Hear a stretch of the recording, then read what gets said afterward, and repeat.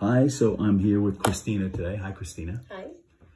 Um, it's been amazing working with you because you are just such a superstar, and I just wanted to go ask you a couple of questions about, you know, our time together.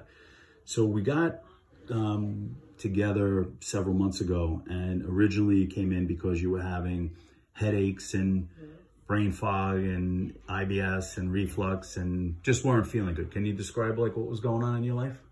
Um, I actually felt dead. Coming in here, I felt broken. I had um, everything that you said was how my life, how I lived my life for actually a few decades. Wow. And thought, but I dealt with it when I was, you know, 30 and 40 and and it got to the point that it, there was no there was no feeling good on one day and not the other. It was just perpetual. It was your normal. That was my norm. That was my norm. Mm. And I thought, oh my God, this is it. I'm, I was depressed. I thought I, I need, I must need to retire and this is going to be the end of what I thought would have been a much happier, fulfilling life. And I am a totally different person now. Wow. I am, I've lost over 46 pounds because when I went on the scale the other day, I, I generally don't even go on the scale anymore. Um, and it's because I don't look at that as a goal. Mm-hmm. Um, yeah, it's just a nice side benefit of getting it healthy. It is. It, it's a side benefit of a mind shift and of just a, a, totally different way of looking at life. Right. So I remember when we first got together and we did some labs, and there was some concern on your part about getting labs done. You want to just describe that a little bit? Because a lot of people have that, that fear of, I don't want to know what's going on kind of right. thing. Um, I wasn't surprised when it came back terrible in like five major areas. I, I, shouldn't say what I was. I was a little surprised, but not because I just felt terrible. Mm-hmm. Um, I didn't think at first that really anything could be done, and I thought, okay, working with you, I would be able to maybe feel a little bit better every other day. And. I was very anxious about redoing the, the labs mm-hmm. because I thought I have failed yeah. so many times. Like when you think about doing Weight Watchers and Nutrisystem and all these different things. And again, this was not this is not a diet. It was mm-hmm. not to come here to lose weight. what was your expectation? When you first came? What did you What did you think we were going to do? My hope, because I was so bad with the with my like IBS type of problem. My hope was that I wouldn't feel so anxious about eating because I'd have to go to the bathroom. Mm.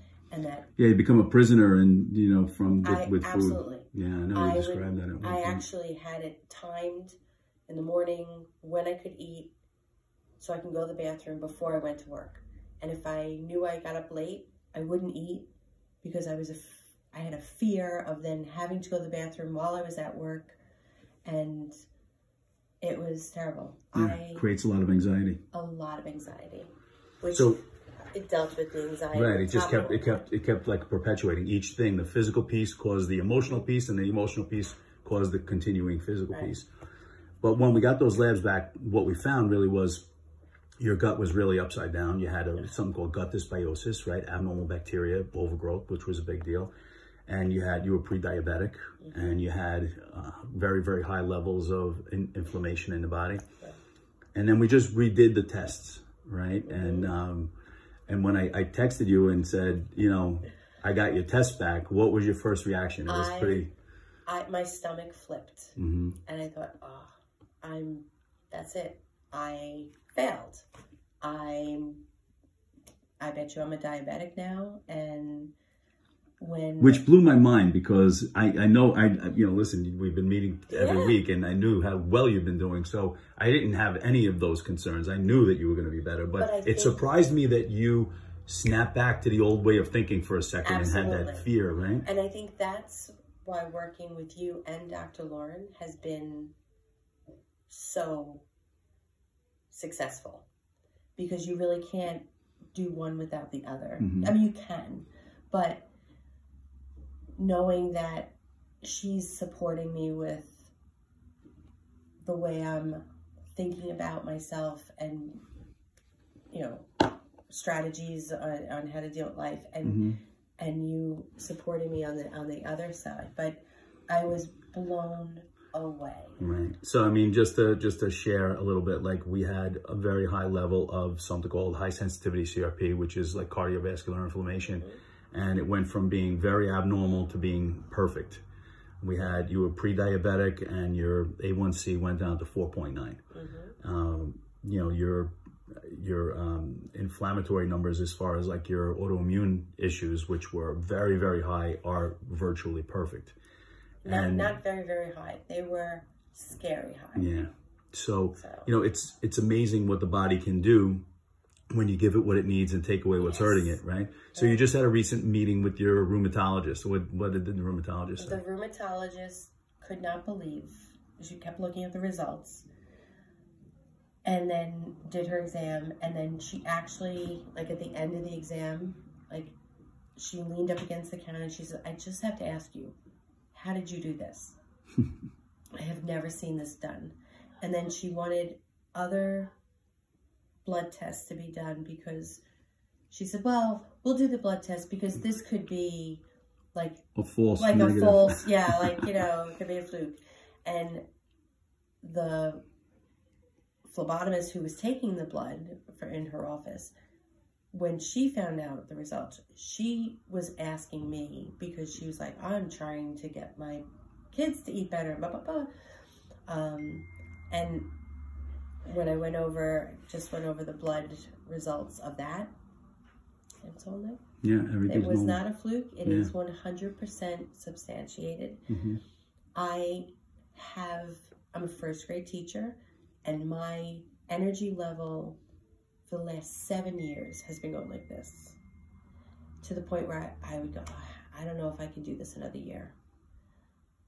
My energy level is as if I am 28 years old. I remember in the summertime when you said, um, usually toward the end of the summer, I basically stop all social activity because I start stressing about going back to school. And that was that was really interesting that you didn't have that this year. ever, first time ever that I, Labor Day weekend, we went out. hmm We socialized. My approach to life, to the things in my life, is much calmer, more positive, and happy. Mhm. And truly, this has, I can't even say given me back my life because I never had as good a life as I'm having now. Wow. You know, when you when you fix the gut and you shift the mindset and you create hope and you work hard, anything is possible. You know, your body has the ability to heal itself. Mm-hmm. You know, what you did was really take control, Mhm. got your mind in the right place and just followed through and was consistent. And now like how much weight did you drop? I am almost 50 pounds. That is just unbelievable. Yeah. And 50 Incredible. pounds, and I started with you on May 7th. And what is today? October 20th? Yeah, so five and a half months. Yeah. You know, it's most people don't believe that it's possible. You know, but And what would you say to those people? I would say you must believe. And we talked about belief, you and I have talked Mhm. about belief, right? And like you give that power away to people, right? And um you have to just look, listen, if there's anyone else that was like me, that was at totally their last straw, what what is it? to hurt. You're at your last straw anyway. hmm But you need to have that therapy and you together. hmm I think is a perfect combination. Yeah. It's integrative. Absolutely. you know and this is you know this is like a big part of what i'm doing with the same here organization you know when we work with, with mental health and we work with you know hand in hand with psychologists but if we don't fix the underlying physiological problems when you have inflammation your brain's on fire and if your brain's on fire how do you think you're gonna you know have normal cognition and normal So emotions I am going to share something I know, you know, on video. I'm totally fine with saying this. I have, I've had trauma in my life hmm um, that led me to taking Wellbutrin for the anxiety. And I actually spoke to my doctor and I said, I don't feel I need it anymore. And we are on a plan of lessening it each time we get together awesome so that by Christmas, you're gonna wean off I weaned off it because I needed that thinking I was I was off balance and that there was a problem. hmm I feel everything. I feel my body, like you said, is really healed itself. hmm It's in my balance in my body and my mind. It's I'm I'm in control of my life, really for the first time. And I was not a wait a minute, I was not a a basket case of a woman. no no no I was a Girl very, Scout leader. Very successful very family successful, awesome family awesome career wonderful family. It was just all about you, though. You just weren't feeling it. And it was always like giving to everyone and then feeling like, okay, just, I can just get by. And giving to everyone and getting through the day and I can just get by. But my mental health is as equally healed as my physical health. It's been literally just such a pleasure for me to work with you because I know how, just how hard you worked and how much we were together, like talking, com- communicating, texting, and meeting Yeah. every week. And so to see somebody really put in the work and actually achieve what they always wanted is such a such an amazing thing. You know, I it's never, really ever, ever thought that I would be sitting here with the results. And I have to tell you, you know, when you first met and you were like, all right, well, text me if you have it. And I'm like, oh, I'm not going to text anyone. It's my doctor, whatever, you know. Um, but knowing that the few times that I had reached out and you helped me just calmly look at things in uh, in a great way. yeah, we just reframed it. Yeah. Yeah, because Yeah. you know when when we think a certain way, we we can get into ha- bad thinking habits, just like bad physical habits. And if we awfulize, we think bad. You know, we we tend to see the worst in situations, and you know that's our knee jerk reaction. Then it tends to always pull us back to like the starting point. It's like Chutes and Ladders. You're Yes. climbing, climbing, climbing, and then you hit that chute, and you slide all the way back to you know to you know step one. But you know, it's it's a matter of processing, shifting your mindset, mm-hmm. fixing your underlying physiological imbalances. So that's why we talk about mental health and mm-hmm. building mental health instead of just saying I'm I have mental illness because you know the society is just so skewed that either you're fine or you're not, and that just doesn't is that's just not true. You know, 20% of people have mental illness, quote unquote, and then everybody else, it implies everybody else is fine. But we're all affected by all of these same things that you've been dealing with stress, physiological imbalances, dietary, gut, all those things, and it all works together. And I am amazed at the food choices that I now I like I said to you before, I crave vegetables now. Like Y- Your body I is working a- at a different I'm- level. I have to tell you, I was 35 before I had my first broccoli. My kids, I made broccoli for, and I pretended that I ate mine.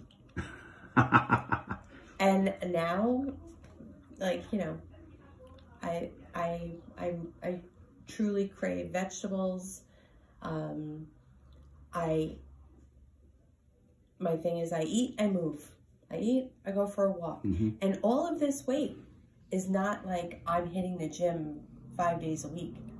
I did not hit the gym once this entire time until last week when I started. hmm Yeah, And- now you're going to take it to the next level. I am. Yeah.